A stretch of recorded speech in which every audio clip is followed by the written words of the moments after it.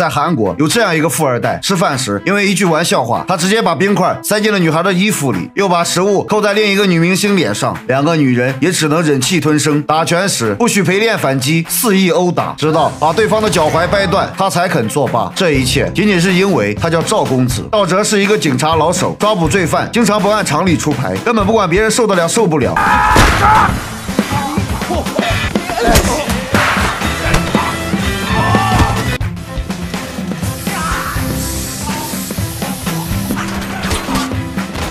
最后打到对方老大，直接吵着要叫律师，要告他暴力执法。道哲也不惯着他，直接拿出一个打火机，往额头这么一划，再拿出钢管沾了沾流出的血，最后把钢管递到对方手中。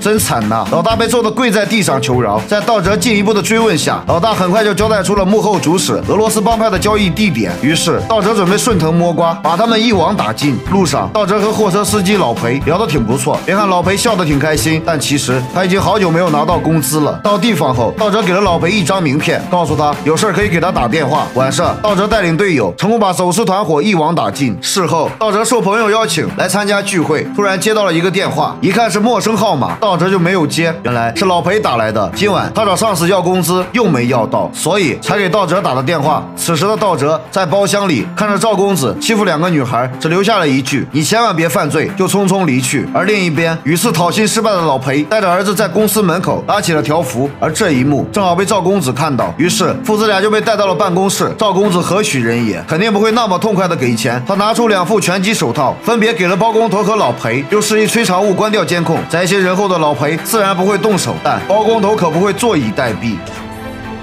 包工头戴上拳套，对着老裴就是一顿拳打脚踢。由于害怕老裴的牙齿被打掉，崔长武往他的嘴里塞了卫生纸。赵公子按住男孩的脑袋，让他亲眼目睹了父亲被打的全过程。虽然最后赵公子给他结清了工资，但老裴觉得在儿子面前丢人了，于是他选择了跳楼自杀。另一边，道哲也接到了男孩打来的电话，急忙赶到了医院。看着老裴给妻子发的诀别短信，加上当时整栋大楼的监控正在检修，直觉告诉他事情不会这么简单。道哲赶紧找到老裴的儿子。了解情况，男孩告诉他，父亲跳楼之前曾遭到殴打，这让道泽更加坚定了自己的想法。随后，他独自一人来到赵公子的公司了解情况，却被崔长务带着一群保安拦下。等道哲再次来到医院，却看到崔长务拿着一张支票，正在和老裴的妻子谈判。道哲立刻冲上去，崔长务却对他说：“不要多管闲事。”道哲刚想和他理论，崔长务却径直离开。同事劝他放弃这个案子，但道哲哪里肯听？毕竟电梯战神的名号也不是白来的。另一边，赵公子调查。道哲时发现道哲正在为房贷发愁，于是让崔长务拿着十亿韩元找到了道哲的妻子，但妻子拒绝了。事后，妻子来到警局，对道哲一顿数落。道哲虽然比较疼爱妻子，但也受不了这种侮辱。他找到赵公子，希望他可以道歉。赵公子毕竟是大人物，哪里会道歉？随即，赵公子让崔长务找到包工头，安排他找人做掉道哲，答应会给一笔钱帮助他跑路。但这帮小喽啰哪里是电梯战神的对手？很快就被道哲收拾干净。另一边，赵公。子的老爸得知了儿子的所作所为后，又不舍得打崔长务，只能趴着带赵公子受过。有个这样宠孩子的爹，也难怪赵公子会这样嚣张跋扈。这老小子刚打完崔长务，就提出给他一笔钱，让他去帮儿子顶罪。崔长务来到警局自首，想要揽下所有罪行。此时的道哲也在老裴妻子那里了解到，老裴从不发短信。道哲一听，当即查看了老裴的通话记录，发现老裴是先拨打的求救电话，后给妻子发的短信。道哲明白了，这说明老裴被打。打后不服，回去找赵公子理论。赵公子失手把老裴打成了重伤。为了消灭证据，赵公子让手下把老裴伪装成了自杀。想清楚这一切后，道哲准备抓捕赵公子，却意外得知赵公子想要潜逃出境。道哲当机立断，带着刑警小队立刻前去抓捕赵公子。先是撞翻了一名警察，然后不顾路人的死活，一路横冲直撞。道哲骑上摩托车，紧忙追赶，一个漂移，把摩托车甩进赵公子的车里。赵公子的车当场被逼停。下车后，赵公子对着道哲一。顿毒打，道哲没有还手，因为只要还手，就会被摄像头记录，会被说成暴力执法。道哲被打得摔在地上，赵公子刚想离开，却被一个熟悉的面孔阻拦。不过还好，马哥被媳妇儿拉走了。这时，道哲也站了起来，还是那一招，你们都看到了，他袭警，这就不能怪我了。